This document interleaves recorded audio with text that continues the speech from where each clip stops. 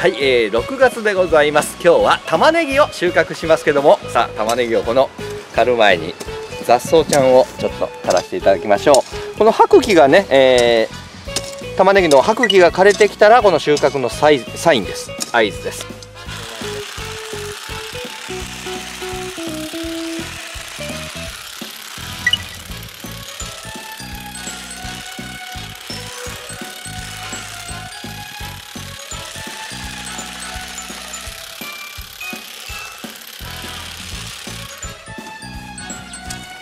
え雑草を買って。おおできてますね。これ大きいごっついですね。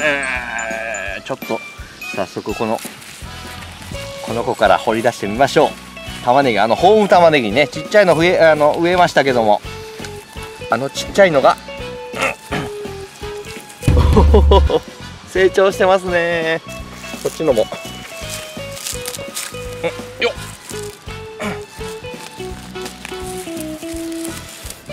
成長してますね。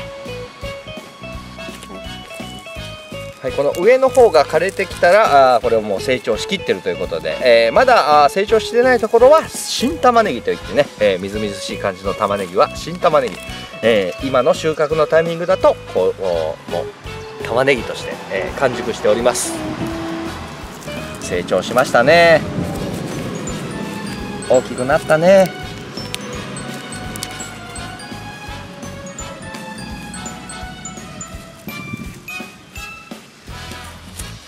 あ、もう一個ありますね。この子はちょっとちっちゃいですけどね。いやー、最初ヘロヘロだったのによく頑張りました。